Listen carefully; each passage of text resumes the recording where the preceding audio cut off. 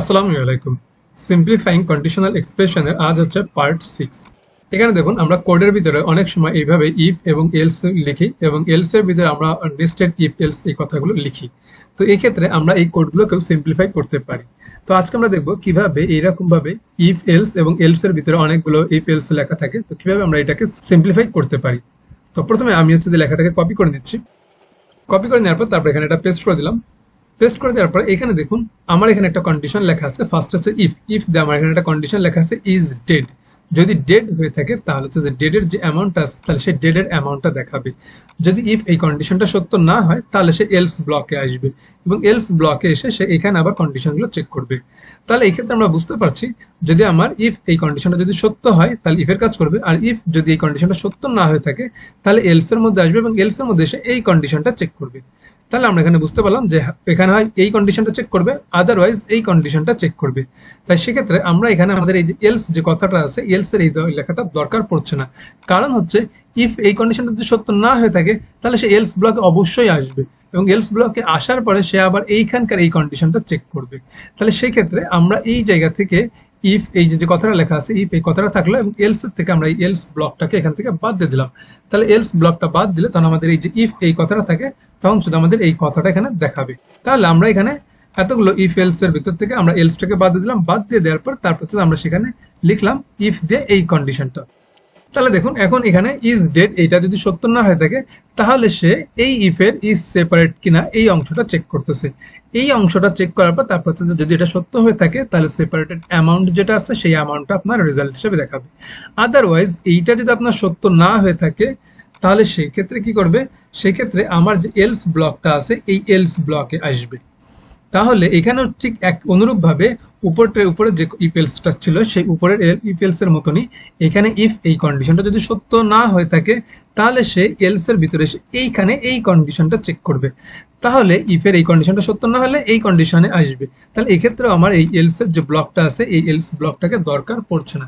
সেক্ষেত্রে আমি এই এলস ব্লকটাকে বাদ দিচ্ছি এবং ইফের যে কন্ডিশনটা আছে, এই কন্ডিশনটাকে আমি এখান থেকে কাট করে নিয়ে আমি এইখানে এটাকে পেস্ট করে দিলাম। পেস্ট করে দেওয়ার পরে এখন দেখুন এইখানে ইফের ভিতরে আসার পর এখানে ইজ রিটায়ার্ড যদি সে রিটায়ার্ড হয়ে থাকে, তাহলে রিটায়ার্ড অ্যামাউন্ট দেখাবে। আর যদি সে রিটায়ার্ড না হয়ে থাকে, তাহলে এলস ব্লকে আসবে এবং এলস ব্লকে আসার পর তারপরে সে এইখানে যে লেখাটা আছে, এই লেখাটা প্রিন্ট করবে। তাহলে আমার যদি এটা যদি সত্য না হয়ে থাকে, তাহলে সে অবশ্যই এখানে আসবে। তো যখন সে এখানে অবশ্যই আসবে, তখন আমার এখানে এলস এর এই কথাটা লেখার দরকার পড়ছে না। কারণ এই লাইনটা তো আমার সর্বশেষ এক্সিকিউট হবেই।